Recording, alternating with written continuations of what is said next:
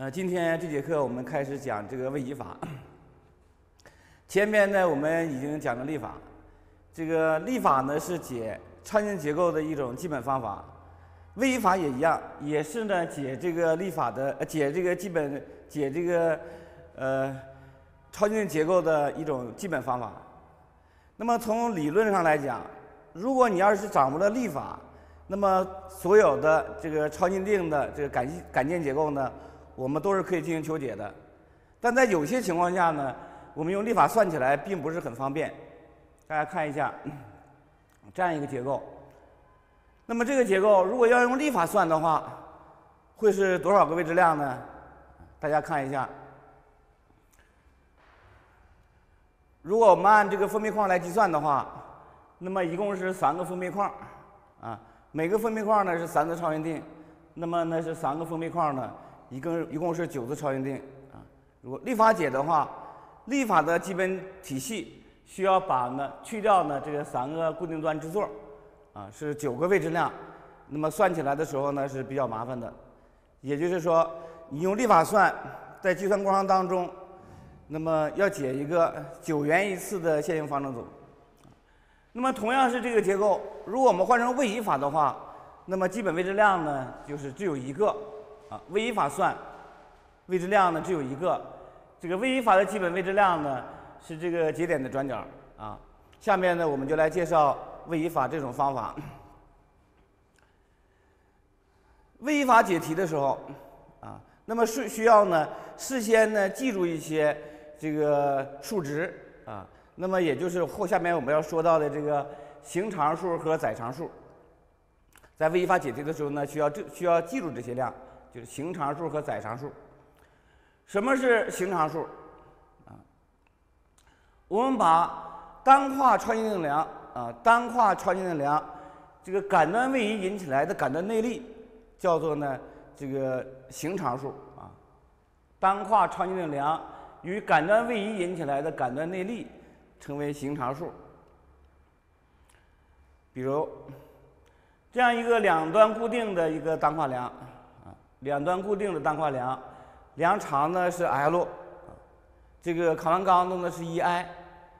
那么在这个左端这个固定端支座发生一个向下的单位位移的情况下，那么这结构里边的那个弯距呢，这个内力啊，可以用这个立法呢来计算。那么计算立法计算的结果呢，就是左端的弯矩值是 l 分之六 i，右边的弯矩值也是 l 分之六 i 啊，剪力值呢是 l 方分之十二 i，其中的 i 是扛完刚度 e_i 除以杆长 l，叫线刚度啊。那么线刚度呢，实际上也是一个就是方便我们记忆的这样引入的这样一个量。左端上面受拉。l 分之六 i，右边下边受拉 l 分之六 i，那么这四个数呢，实际上你记住一个就成啊，记住一个就可以了，就是一端发生一个单位线位移啊，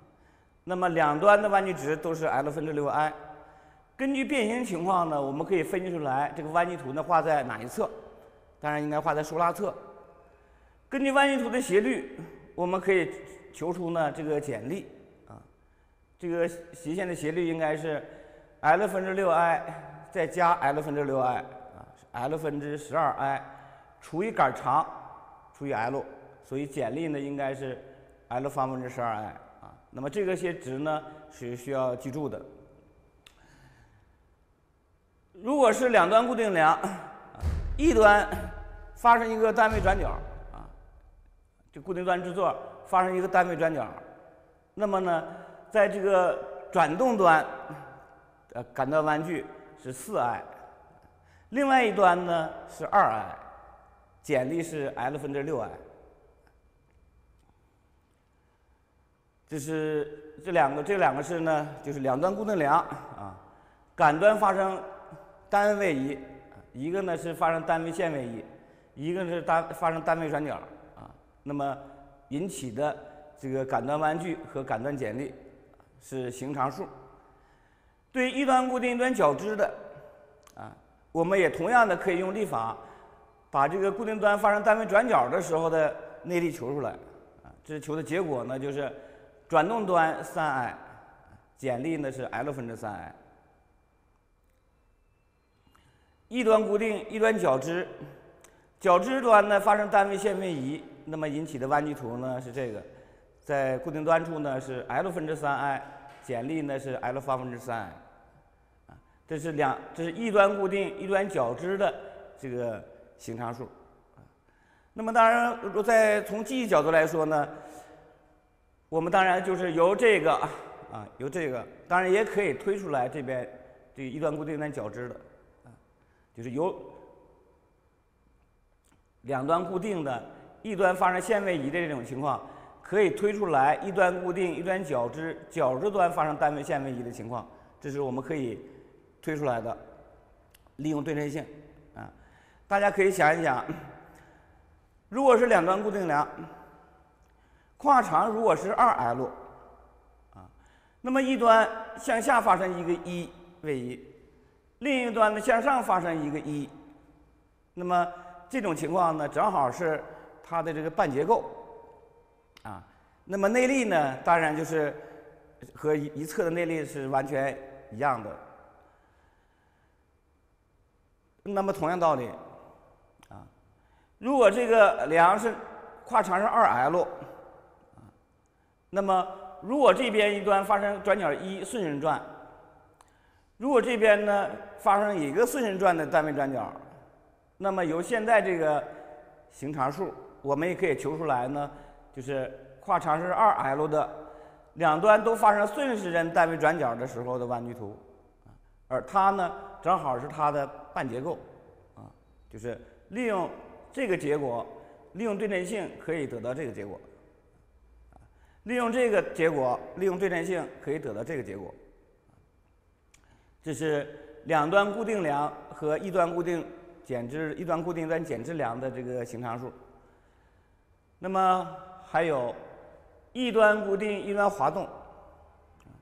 那么固定端发生单位转角的时候呢，弯矩图是如图所示啊。这个弯矩弯矩呢是一个常数，处于纯弯曲状态，剪力是零，弯曲值呢是 i。一端固定滑动，如果固定端发生单位位移，这个很明显可以看出，那么它是一个钢体平动啊，杆件呢没有没有弯曲变形，这个里边呢是没有弯曲图的，也没有剪力啊。那么前面呢就是我们所要说的这个呃形常数。那么这些值呢是需要记住的，当然一开始你可能记不住，需要查书上那个表啊。那么做了几个题以后呢，自然就记住了。载常数，我们把单跨超轻定梁在这个外力作用下引起的感端内力叫做载常数。单跨超轻定梁啊，在外力作用下引起来的啊，外部作用引起的，那外部作用当然也可以是力，也可以是其他的外部因素。我们下面只是说这个荷载。荷载引起的感端内力称为载常数。我们在解题过程当中当中常见的两端固定梁中间一个集中力作用，我们可以用力法。这个在前面讲力法的时候呢，我们通过例题啊已经讲过它的计算了。那么求出来了这个两端的弯距，两端的弯距值呢是八分之一 Ipl 啊。剪力呢，当然就是这个力的一边一半了，二分之一 Lp。满跨均不荷载，啊，满跨均不荷载，那么两边的弯曲值呢是十二分之一开了平方，啊，那么杆端的弯曲剪力就是呢载常数。一端固定一端角支的，跨中间作用一个集中力的时候，那么。固定端处的弯曲值呢是十六分之三 Fpl，两端的剪力，右端呢是十六分之五 Lpl，左端呢是十六分之十一啊。那么这三个数呢不太好记啊，不像前面这个八分之一、十二分之一这么好记，因为这个剪力呢是二分之一，这是很容易的。这个记起来比较麻烦，你可以记住一个数，比如我记住了这个十六分之五。那么这个呢就可以利用平衡方程来算。那么感端弯距这个截面的弯距值应该等于十六分之五乘以 l，十六分之五 lp 乘以 l，减去 lp 乘以二分之 l，啊，二分之一那就是十六分之八，啊，十六分之八减掉十六分之三，就是呃十六分之五得到十六分之三，啊，再由数量投影方程可以算出来这个是十六分之十一，啊，这三个值只需要记住一个就可以。当然，全记住就更好了。一端固定，一端角支，单跨梁，满跨均布作用，均布力作用。那么固定端处的弯距值呢是八分之一啊。这个右端的角支座处的剪力值呢是八分之三 QL，另外一端呢是八分之五，和刚才一样的。这三个值你只需记住一个啊。你比如我们还是记住了这个。记住了这个，那么由平衡条件，我们可以算出来这个八分之一。均布力对这点的距，啊，合力呢是 QL，力臂呢是二分之 L，应该是八分之四 QL 平方。这是八分之三，力臂是 L，啊，八分之三 QL 平方，啊，八分之四减八分之三就是八分之一，就是这三个值记住一个，至少记住一个，最好的当然这是全记住了。一端固定，一端是滑动支座的啊，这个梁，在滑动支座处有集中力作用，两边的弯距值都是二分之一 LPL，剪力呢是由数量列数量作用方程啊啊数量平衡决定的，FP 这个也是 FP，一呃满跨均布力作用，那么这个弯距值呢是三分之一，这是六分之一。当然，它们之间呢也是有关系的啊。那么，比如这个，我们当然可以利用这个来算。如果两端固定梁，杆长如果是二 L，我们也可以通过我们记住的这个，只要把 L 改成二 L，就可以算出来呢两端的弯距值。杆长是二 L 的时候的，它是对称结构了。对称荷载作用下的半结构，实际上就是它，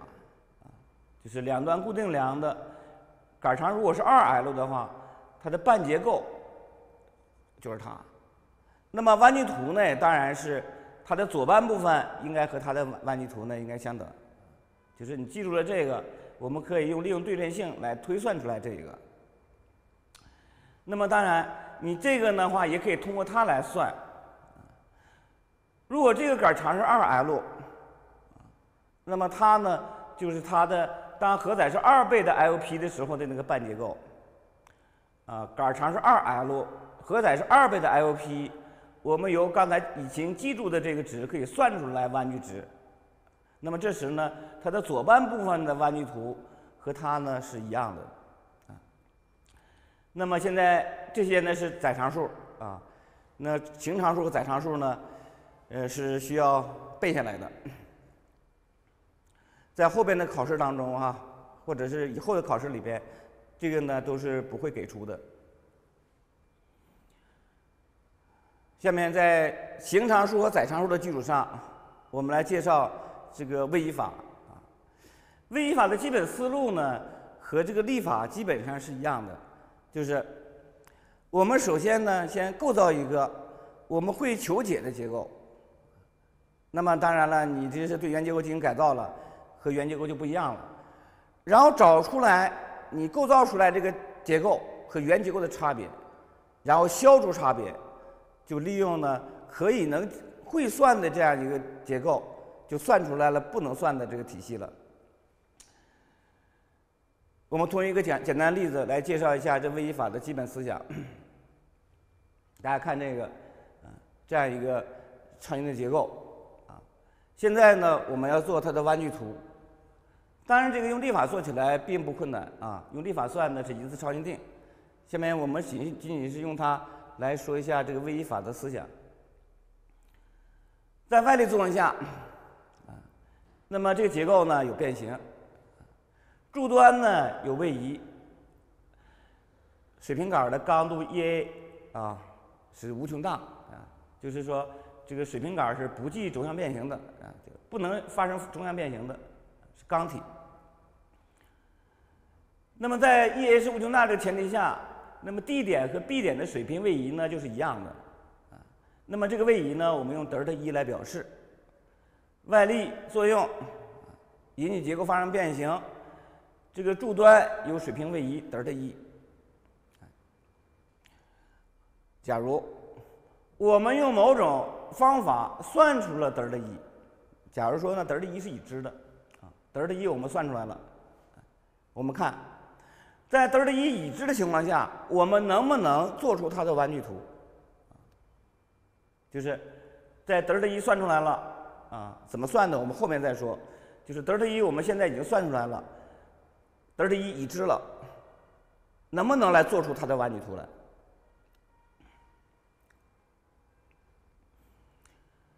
对于左边这根柱子来说，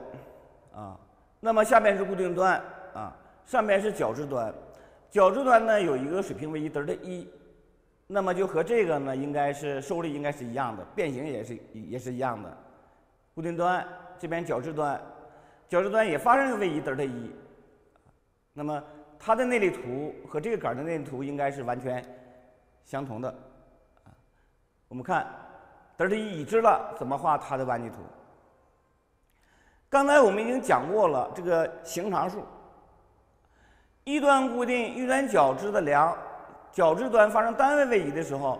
它的弯曲图呢可以查表，或者说我们已经记下来了。啊，形常数，一端固定一端角质，角质端发生一个单位位移，那么弯曲图 L 分之三 i 这弯曲值 L 分之三 i。再看它。这个地方位移呢不是一，是德尔塔一，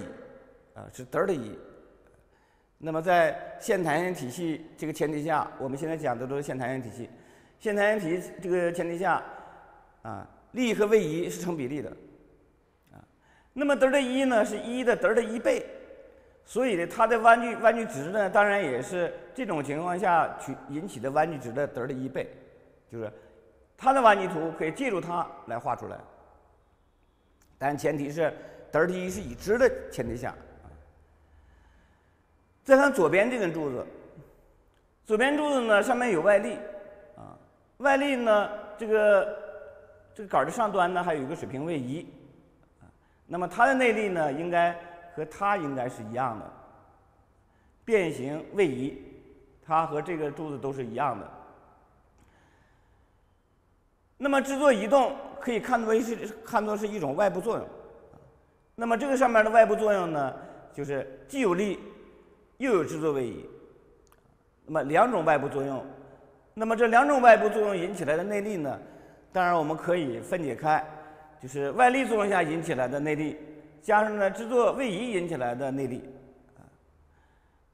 就是它俩的内力相加应该等于它的内力。而这两种情况的内力呢，我们可以借助这个形常数和载常数载常数的概念可以获得啊。右边这个当然和和这个是一样的了啊，就是只要令这个把它的弯曲图数标乘以德尔塔一，就是这个杆的弯曲图了。那么它呢，相当于是这个载常数啊，一端固定一端角质，中间集中力作用。那么固定端处的弯曲值呢是十六分之三 LPL 啊，那么它的弯曲图就画出来了。有了它的弯曲图，有了它的弯曲图相加，就得到了这个 AB 杆，就左边这个杆的弯曲图。也就是说，只要我们求出了德尔塔一，啊，只要求出了德尔塔一，那么借助这个形常数和载常数，我们就可以画出来这个结构的弯曲图。也就是说呢，我们内力计算的关键是求这个节点处的位移德尔塔一。只要你德尔塔一求出来了，我们就可以画出它的内力图，啊。下面我们就来讨论，怎么样来求德尔塔一，怎么样来算德尔塔一。那么算德尔塔一的这个基本思想呢，和前面讲的力法的基本思想是基本上是一样的。下面我们来讨论怎么样求这个德尔塔一。在这个加荷载之前，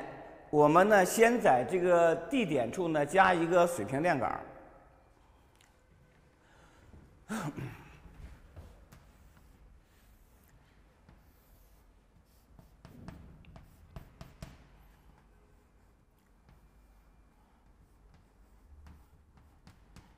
在加荷载之前啊，加荷载之前呢，加一个水平链杆啊，加了水平链杆以后，那么这个点呢，就是不能运动的点了，不能发生位移了。这个两个点都不能发生位移了啊。那么加了杆以后呢，对这个柱子来讲，就相当于是一端固定、一端角支的梁啊，一端固定、端角支的单跨梁。那么不计轴向变形。这点水平也不动，这加了支杆以后呢，这点水平也不动，所以这个柱子呢也相当于是一端固定一端角支的梁，而水平杆当然里面就有轴力了，就相当于二力杆啊。那么这个结构呢，我们就说是一个会算的立法，是把多余约束去掉，变成静能结构，化成一个会求解的结构啊。位移法呢，我们是在上面加约束。变成一个会求解的结构，你可能会说，这个怎么就是会求解的呢？刚才说了，你加了两杆以后呢，这两根杆件都变成了单跨超音定梁，啊，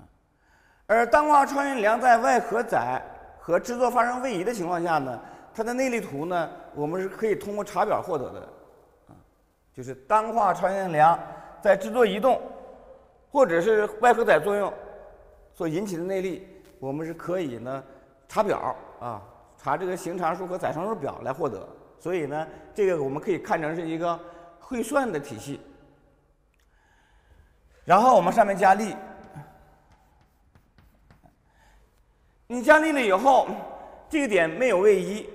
它就和原结构就不一样了啊啊，这个体系是经过改造了的，它就和原结构呢是不一样的。那么什么地方不一样呢？啊，原结构在柱端处是有位移德尔塔一的，现在呢，你这地方加了支杆以后呢，这没有水平位移了，啊，这从位移的角度来说是不一样的。从数力情况来，从数力角度来说，你原来在地点处呢，并没有水平方向的力的作用，啊，没有水平力的作用。那么你这加了支杆以后呢，在外力作用下呢，这里面就会产生一个反力，啊，当然对于我们这个情况来说，反力应该是向左的，当然我们也给它画成向右，到时候得的反力只是差一个符号的问题啊，啊，里边会产生反力，啊，这个反力呢，原来没有的，现在有了，啊，这个呢是我们改造以后这个体系呢。和原结构的差别，我们就找到了。然后下一步，消除差别，在立法里边是怎么样消除差别的呢？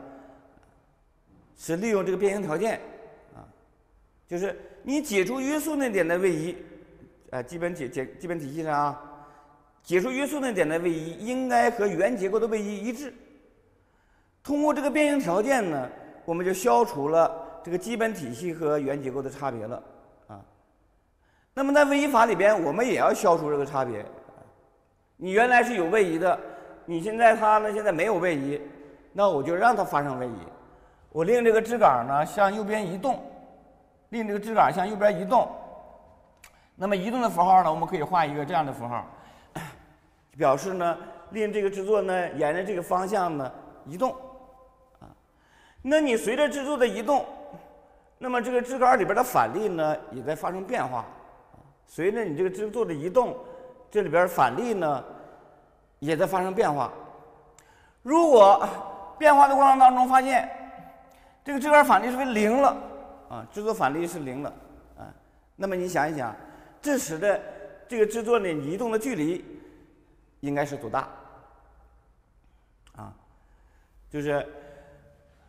我们让这个令这个你加的这个支杆令它移动。随着支杆的移动，支杆灯反力呢也在发生变化。当支杆灯反力为零了的时候，你现在这个支杆的移动的距离应该是多少？啊，那很明显啊，应该是德尔塔一，就是应该发生的位移德尔塔一，应该发生的位移是德尔塔一。也就是说，你现在位移要是如果是德尔塔一的话，位移是德尔塔一的话，你这个支杆就不起作用了，支杆不起作用了，支杆里边反力当然就是零了，啊。那么这个过程呢，我们管它叫放松约束。啊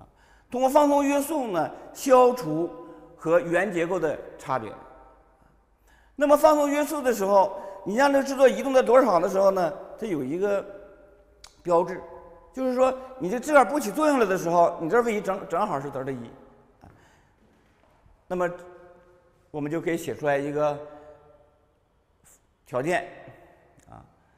如果这个点的位移是德尔塔一的话，就是制作移动。和原结构这点位移要一致了的话，这个 F 一呢，支杆中的力呢，应该是等于零的。F 一等于零，我们就得到这样一个条件。这个条件呢，就是消除它和原结构的差别的一个条件。也就这个条件如果成立的话，它俩可以画等号的。原来 V 这是德尔塔一，如果 F 一等于零了，你这块的 V 一也是德尔塔一，就可以画等号了。那么后边的计算，我们就可以围绕着这个来算，啊，围绕这个来算，啊，它俩可以画等号的，在这个条件下。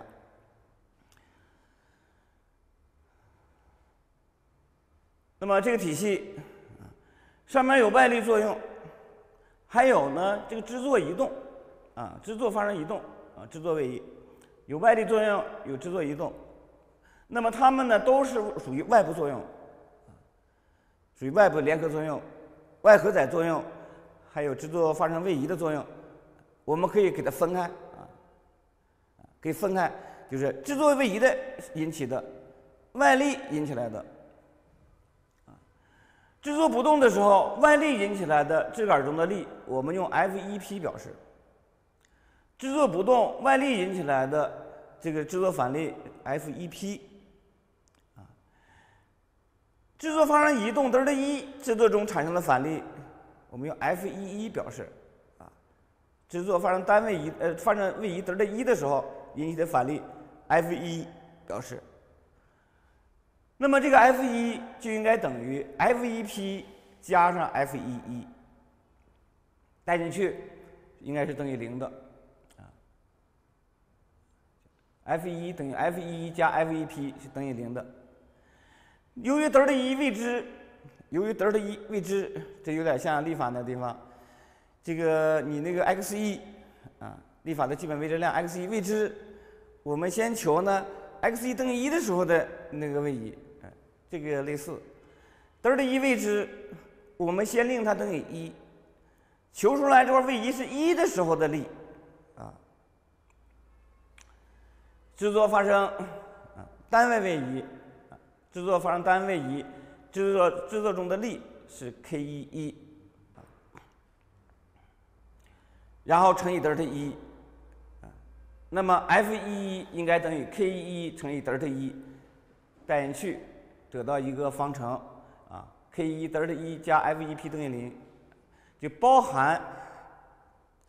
这个基本位质量的啊一个方程。只要求出了 k 一和 f 一 p，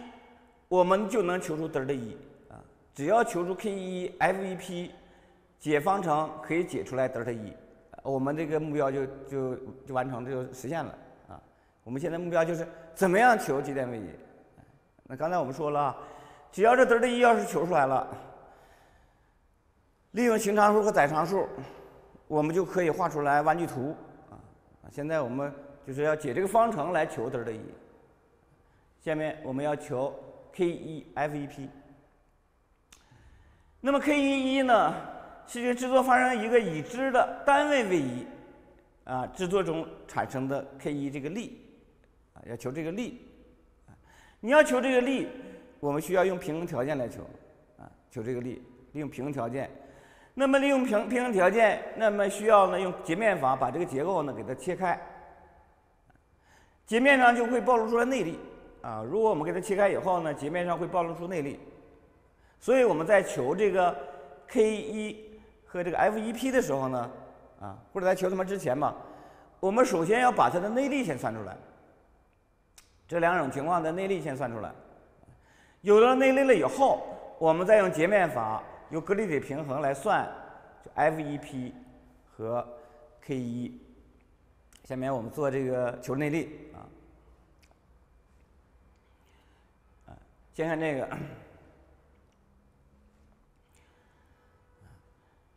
那么对于右边这根柱子来说，刚才说过了哈，就是我们加了这个水平链杆以后。这个呢，相当于是一端固定、一端角支的一个梁。那么制作发生单位移动，那么这个呢，它的弯曲图呢，就和一端固定、一端角支梁的那个载常数啊、形常数啊是一样的啊，或者说就可以利用形常数画出来这个弯曲图。一端固定，一端角支，角端发生单位位移啊，单位线位移。那么弯曲图呢是直线。这个固定端处的弯曲值呢是 L 分之三 i，那么左边也同样，你这儿的位移是一，这个杆儿呢是没有伸长缩短的，那么这个点的位移呢当然也是一，所以这边的弯曲图呢也是这弯曲值是 L 分之三 i 是一样的，那么这个弯曲图是利用这个行常数表画出来的，啊，利用行常数画出来的，这个弯曲图呢叫 M 一图啊。也叫单位弯曲图啊，也叫单位弯曲图。做这个弯曲图啊，在我们把这个系数求完了再做这个啊。现在有了弯曲图了，现在要求 K 一一，我们取一个截面，把这两个柱子切断，取出上面来作为隔离体，取上面作为隔离体啊。那么根据弯曲图，我们可以得到。这个剪力应该是正的剪力啊，杆轴转向弯曲图斜线是顺时转过去的，所以呢，这两个剪力呢都是正的啊，正的剪力。其中 K 一呢也有个方向啊，在位移法里边呢，我们这样规定：F 一 P、F 一一、K 一就是支杆中的力的正向都是与你这个支座移动的方向一致，啊，设为正，啊，就是支杆中的反力，就是你加的约束中的反力，啊，也叫附加约束，啊，附加约束中的反力是与你这个这个约束附加这个约束移动的方向来定的，一致就是正的。我这里面画的都是正的，啊，因为在求解之前，这个德的一呢大小未知。方向也是未知的，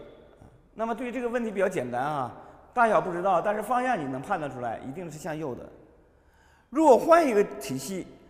啊，或者是你上面再加点别的荷载，再加加点别的力，啊，你假如这边再加一个向左的一个力，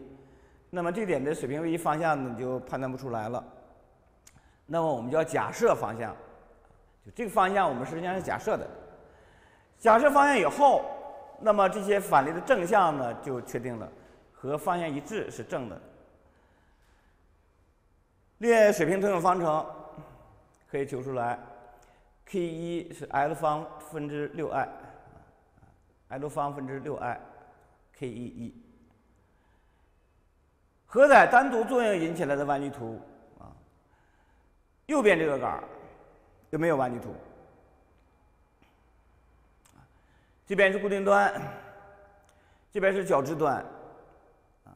两端也没有位移，杆中间也没有外力，这个杆会不会发生弯曲变形？会不会发生弯曲变形？啊，有没有弯曲变形？有没有？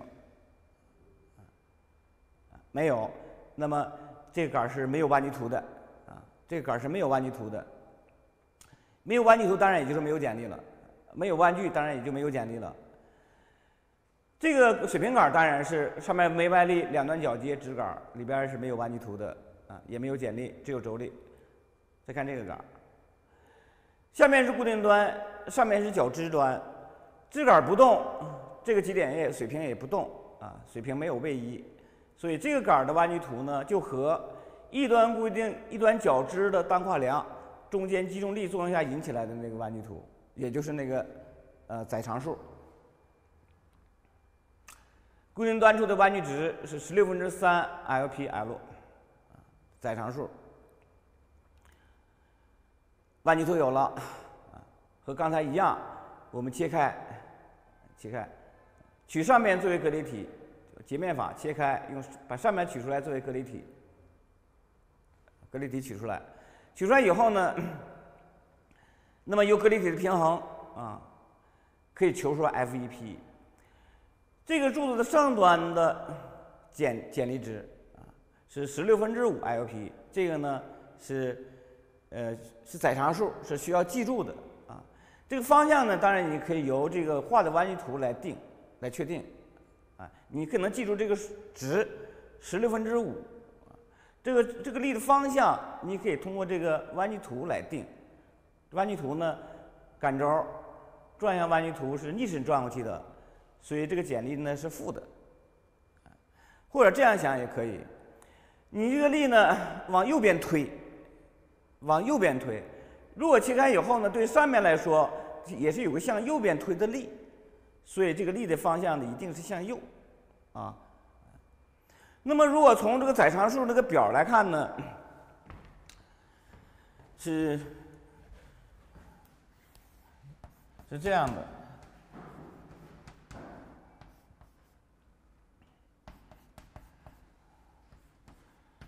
十六分之五。IPL，这个力的箭头呢应该是向左啊。那么如果我们切开以后，给它切开，我们现在这个截面呢，我们这个截面相当于是呢这个截面里边的剪力啊。那么切开以后呢，你对于上面来说，这边呢是向左的，是十六分之五；这边呢就应该是向右的十六分之五啊。这样是一个传递关系啊，我们画的是这个力，应该是向右啊，十六分之五。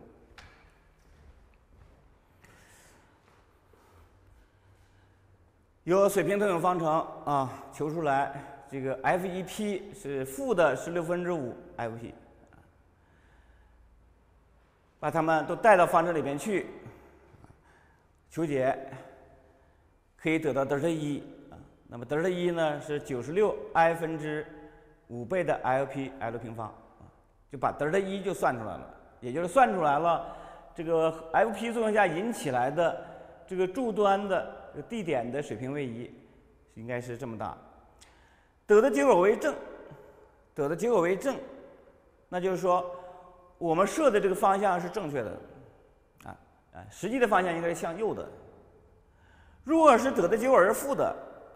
那么节点的位移方向呢，就和假设的方向呢正好相反，啊，由它的正负号决定了实际的位移的方向，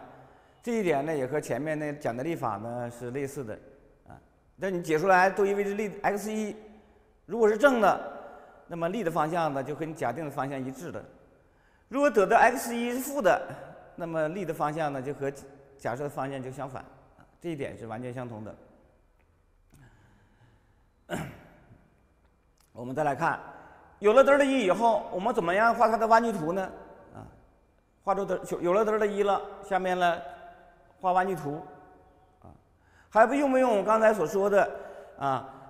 利用载常数表、行常数表，把这两个柱子拿出来，再像刚才讲的那样来画了呢？实际上是没有没有必要了，因为现在这个已经有了啊。在这个条件下，原结构和它。变形相同，位移也相同，受力也相同，内力也一样，啊，内力也一样，都一样的，啊，它俩可以画等号的。它呢又等于它加上它，它呢又等于它乘以德尔塔一。所以呢，它的弯原结构的弯曲图和它的弯曲图相同，而它的弯曲图应该等于这个弯曲图加上这个弯曲图乘以德尔塔一，啊，就借助我们前面已经。在求解德尔塔一的过程当中，用到的这些弯曲图就可以得到原结构弯曲图。这一点呢，也是和力法一样的。在力法里边啊，当我们把那个力法的基基本位质量多余约束求出来以后，我们并不需要把这个多余位置力加在基本结构上，加在立法基本结构上，加在那个静电结构上，再用静电结构的计算方法来画它的内力图啊，是没有必要的了。因为我们在中间解题过程当中已经画出来了单位弯曲图和荷载弯曲图，叠加一下就可以了。这一点呢是完全相同的，就是最终的弯曲图是。单位弯曲图啊，竖标乘以德儿的一，然后再加上荷载作用下引起的弯曲图 M-P 图啊，就是最终弯曲图了。加的时候呢，也和立法那个地方加的完全一样的，加杆两端的啊，比如像右端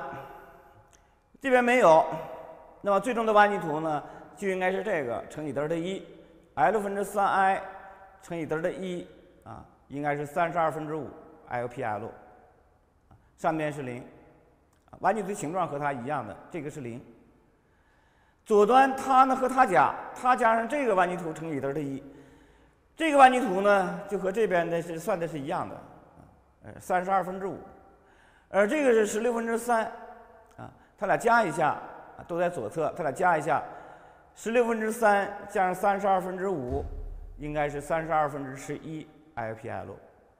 然后连一直线，下面再叠加一个减质量在中间一个集中力引起来的那个弯曲图啊，这个弯曲值呢应该是四分之一 LPL，叠加法画弯曲图，这样呢我们就把它的内力图就求出来了啊，